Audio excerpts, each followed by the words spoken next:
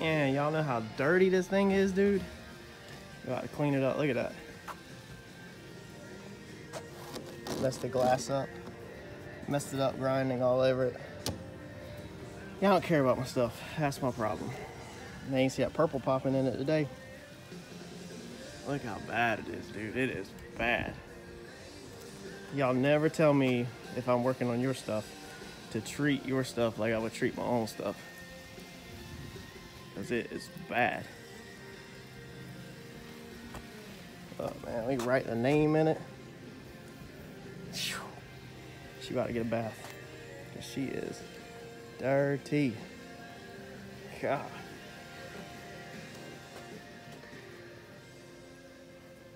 Inside's decently clean because the windows have been closed all up. There she is. Should probably take better care of my stuff, but it's a problem when you're a painter and you do everything is you just don't value anything, man. Because you do it all yourself. Even the windshield has pit and all in it. Man.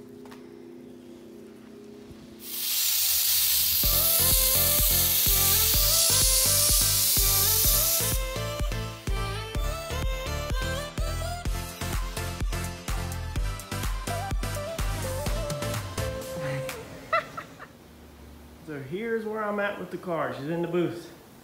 Got it in primer today. Yeah, a little excessive, probably people will say, to prime and block out your front end, but hey, you own a body shop and you're a painting body guy, that's what you do. So everything's obviously been welded. We did that the other day. Now everything's been primered and blocked out by hand, so everything is nice and smooth. Try to smooth everything out so it all looks decent. Stuff that you can see. We got some big old clobbery welds. Don't look the best, but they'll all hold. So now all she's got to do is go through paint. So I just washed it. I think I'm gonna let it dry. I might come in tonight and spray it. If not, it will be tomorrow, Friday. I'll try to have her home either Friday night or Saturday. But yeah, I went ahead and smoothed out all these plates so that all this is nice and smooth. Looks like one piece. Everything is nice and all together. But it's like one piece. I think that's gonna look pretty good. Instead of seeing the welds, it'll look just like one piece all manufactured together, kind of. And a lot of it's, of course, gonna get hidden. But there she is. So get some paint on her and get her back to the house.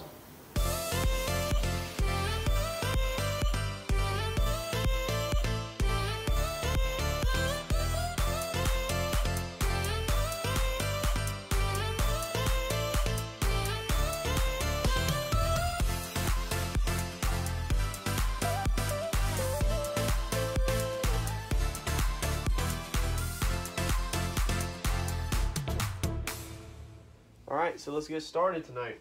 So we just prepped the vehicle, got it sprayed off, make sure it's dry, masked up a few small things, and now we're going to get ready to shoot this bad boy tonight. I like coming in, but decided uh, I should probably go ahead and get this done. That way I can get some other stuff done tomorrow. So dragging this stuff out because I really don't like working on this stuff during the day on the clock while I should be working on um, other projects to make my business money. So, race cars come at night uh, whenever I have spent too much time on them during the week. And this week, I have spent too much time on this car. Try not to, but uh, things have to get done. It is what it is. Welding it, I was on Mike's time painting it on my time so I can do it at night. So anyway, we got it all prepped. We are going to shoot some Bulldog. Uh, this is just a adhesion promoter. Bulldog. I like to put this on a lot of stuff that I do that has a lot of prep work because sometimes I don't I don't do my own stuff 100%. So I've been known to scuff them down really fast and not be very careful. And uh, yeah, I like to spray a little bulldog on it to make sure if I missed any spots that it helps it stick. All this is adhesion promoter, so it just helps paint stick to things. It's for like plastics, chrome, stuff like that, but I use it to cheat. So.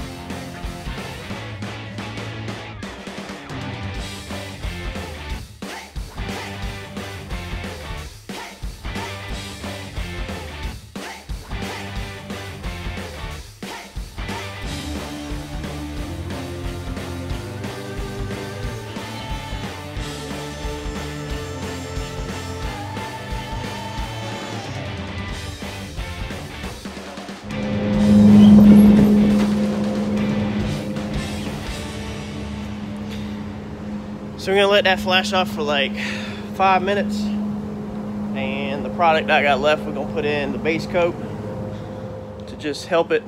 So let's get that mixed up. All right, so got a little bit left over, not a lot. Stuff's right now running like $50 a can, it sucks, but it helps. So. I don't trust my prep when I'm in a hurry. So we're gonna find something, see if I got anything that's a drop coat. So I like to drop something down first. That doesn't matter, not my actual color. I actually have a lot of this black, so I think we're gonna roll right in with it.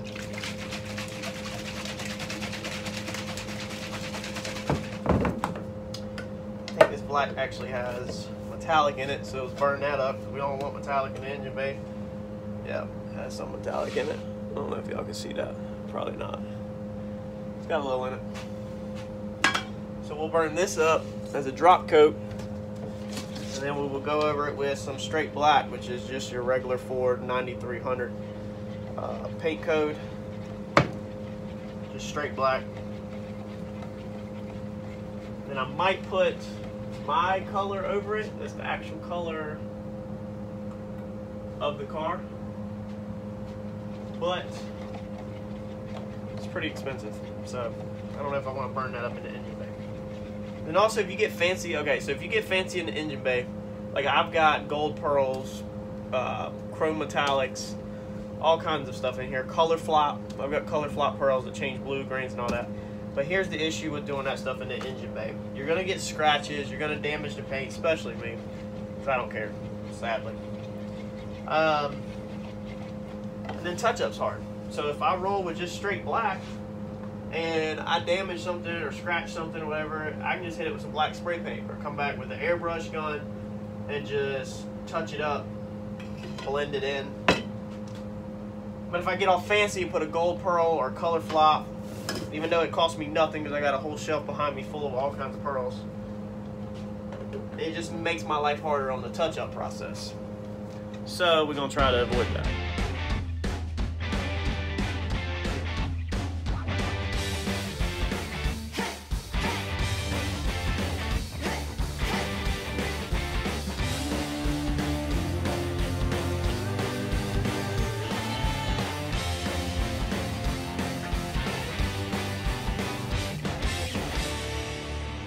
Alright, so that was base coat. Got that knocked out. A lot of angles. Had a little bit of water in there, so you see me wiping my hands, wiping it off. It's not um, some brand new car, insurance job. It's a front end of tube chassis. It's not that big of a deal. To me, it's not. Some people might be more picky. Um, anyway, got a good drop coat over it. think I got it all, so we'll go back in there. This is just the straight black.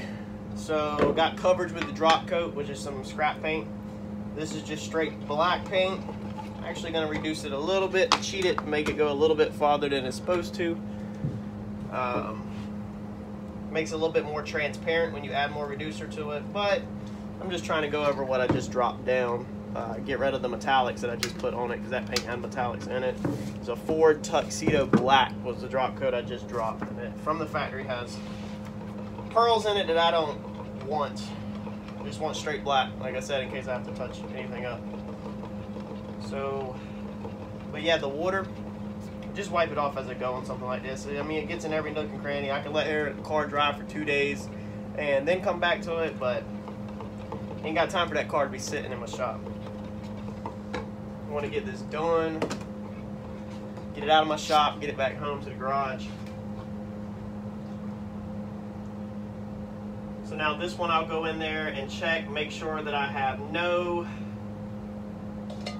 bare spots that aren't got. A lot of the hard to get nooks and crannies are where you'll find that you didn't get coverage at, but I'm gonna check over all that, make sure we got everything, and um, drop this coat, and then if that looks good, move on to clear coat.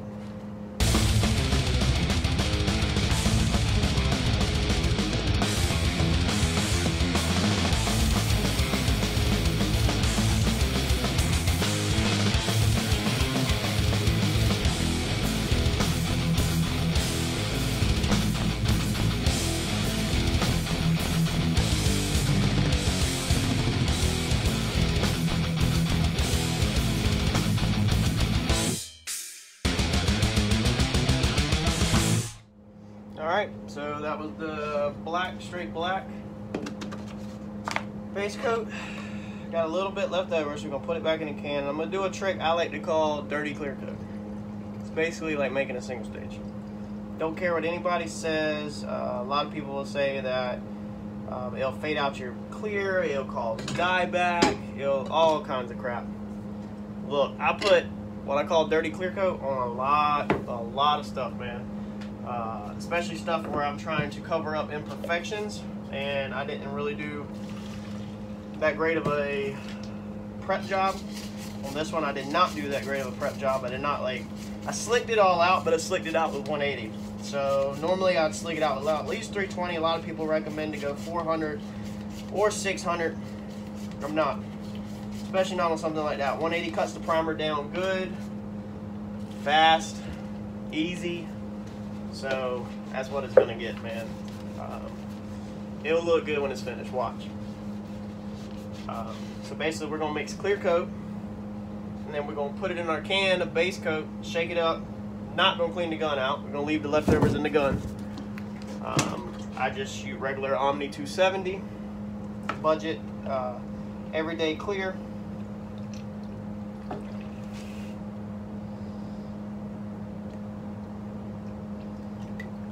All for that can. I think these cans are like, I think like 130 a can. And I can't remember if the hardener is extra or not. I just, I need it, so I just buy it. I don't pay that much attention to price on much, much of anything that I need. No reason to complain about price on everyday products that you have to have. That's how I see it. Mixed four to one. That means four parts clear coat, one part hardener, one part reducer.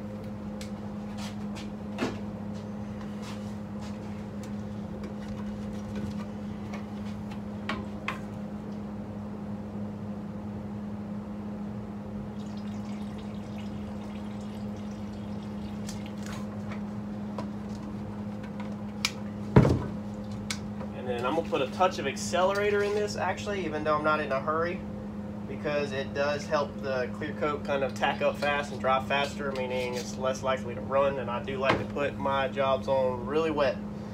Um, sometimes it bites me in the butt, and I don't. As you see, we're gonna use the dirty mixing stick, and it just kind of, oh, you can't really see it, but it just makes the the base coat comes off of everything and gets all in the clear and gives it a tinted smoke clear. This is the same way that I would do like tail lights or anything. I would put a little base coat in my clear, so it, it's not gonna hurt anything.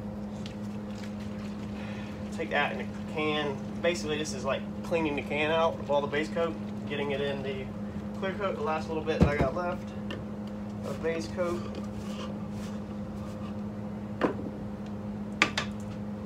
Use even the dirty filter. That way, I want all the black leftover base coat that I can get in this clear, I want it in this clear.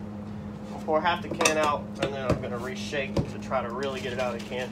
Now, if I wanted to get it all, what I've done in the past is mix my clear, and then put the amount of reducer I need in my base coat can. Uh, reducer will really break down that uh, base coat where it turns it to like water basically, where you can just pour it straight in your clear a lot better. But this works the same way.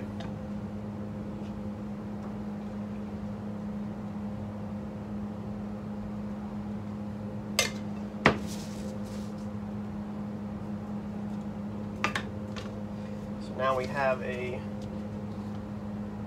tinted black clear coat. This is gonna fill in a lot of scratches, more imperfections, and it's just gonna make the final product look like I spent a whole lot more time on it than I actually did.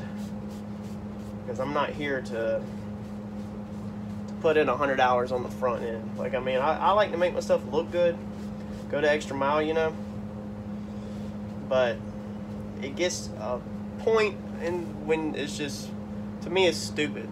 Um, you can make stuff look good and make it look like you put a ton of time into it, and you still have to put some time into it. I mean, don't get me wrong, it spent me spent I spent two hours blocking and sanding that primer earlier today, um, and it's probably gonna be an hour or so tonight painting.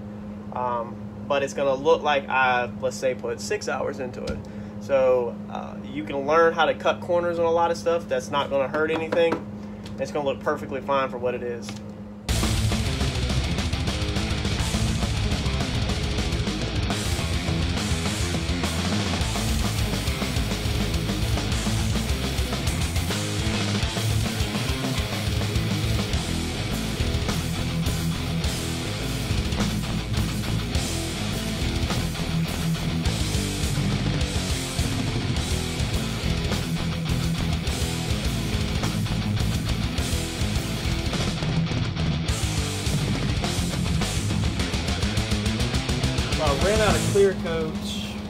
The uh, first coat. I burned it all up, if you remember.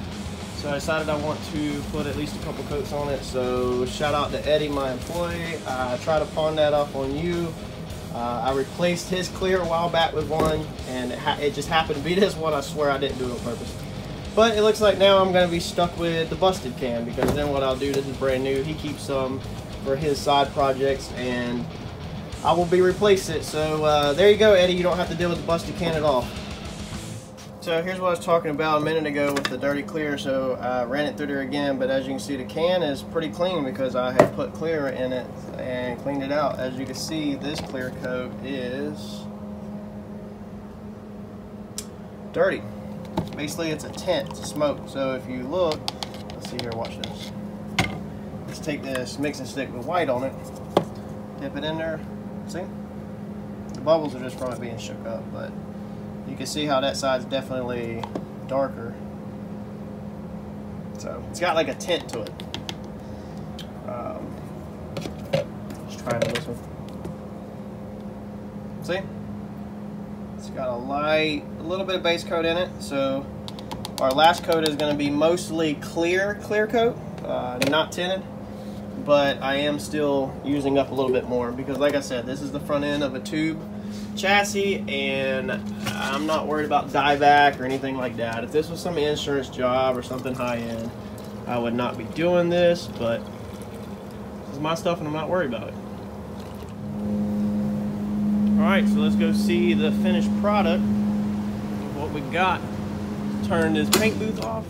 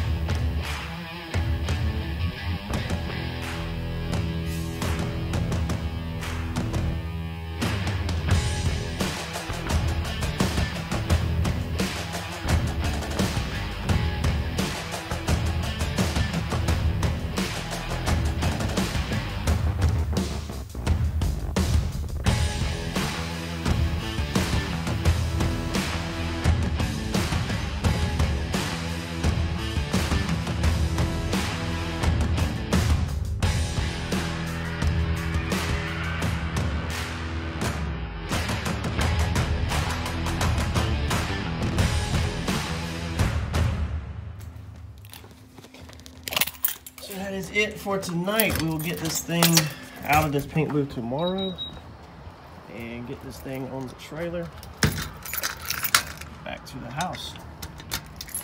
Um, I'll go over tomorrow when it is outside